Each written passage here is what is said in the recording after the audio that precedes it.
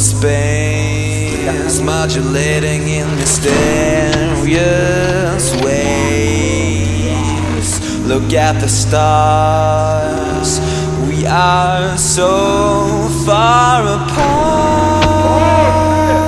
Look how they burn. Is it because